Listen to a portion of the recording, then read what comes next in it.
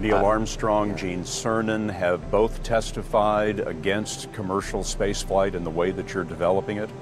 I was very sad to see that um, because those guys are, yeah, you know, th- those guys are heroes of mine, so it's really tough. You know, I, I wish they would come and visit and, and see the hardware that we're doing here. And, and I think that would change their mind. They inspired you to do this, didn't they? Yes. And to see them casting stones in your direction. It's difficult.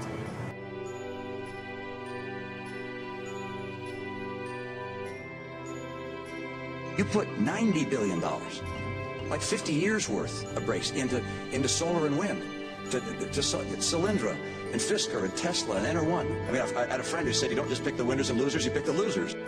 Did you expect them to cheer you on? Certainly hoping they would.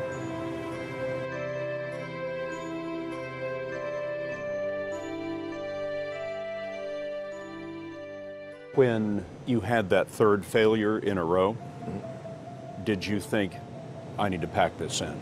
Never. Why not? I don't ever give up. I mean, I'd have to be dead or completely incapacitated